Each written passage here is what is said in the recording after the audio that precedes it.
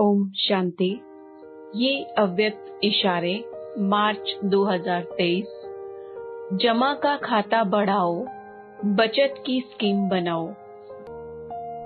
Number नौ जैसे वो government भी आजकल बचत की स्कीम बनाती है तो ऑलमाइटी गवर्नमेंट सब बच्चों को ऑर्डर करती है कि अब बचत की स्कीम बनाओ। खर्चे को फुल स्टॉप लगाओ। अभी अपने प्रति अपनी शक्तियाँ खर्च नहीं करो। अकुट खजाने के मालिक के बालक हो। इस नशे में रहो तो शक्तियाँ उधार नहीं लेनी पड़ेगी। अच्छा ओम, शांति।